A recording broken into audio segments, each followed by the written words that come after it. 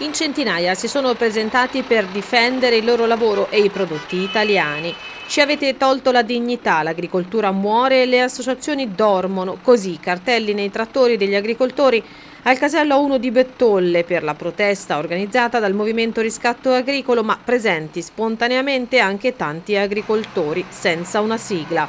I trattori hanno sfilato a passo d'uomo sventolando solo la bandiera italiana. Solo una volta e per pochi minuti è stata bloccata l'uscita della A1, poi il traffico è ripreso regolarmente, seppur con importanti disagi nella viabilità ordinaria. Le ragioni sono che noi siamo arrivati con l'acqua alla gola, non ce la facciamo più a sostenere i costi delle nostre aziende e quindi siamo arrivati a una cosa del genere. E pensi che il contadino è molto individualista. Per essere arrivati a questo punto vuol dire che noi non ce la facciamo più. I prezzi delle materie prime sono aumentate per produrre e invece i nostri prodotti sono calati. La protesta durerà cinque giorni, gli agricoltori hanno chiesto un incontro al governo e protestano soprattutto per le direttive europee. Al governo chiediamo che riconosca che noi agricoltori lavoriamo tutti i giorni per fornire il cibo agli italiani e per mantenere questo territorio e che ci riconosca il prodotto. Noi non si vuole sussidi ma si vuole che ci venga pagato il giusto prezzo al nostro prodotto.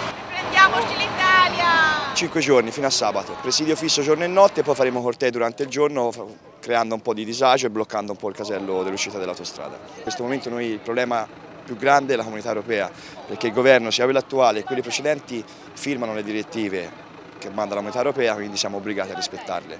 Bisogna cambiare passo perché comunque eh, così per l'agricoltura italiana ci troveremo fra 5 anni, massimo 10 anni, cioè è finita, abbiamo chiuso. Noi bisogna proteggere la nostra identità di agricoltori italiani e anche il prodotto italiano, perché comunque il nostro prodotto per, a giro per il mondo è un'eccellenza, dal parmigiano reggiano alla mozzarella di bufala, olio, vino, quindi bisogna proteggerlo, però devono proteggere noi agricoltori per questo, anche perché noi siamo quelli che tuteliamo l'ambiente, che siamo sul territorio giorno dopo giorno.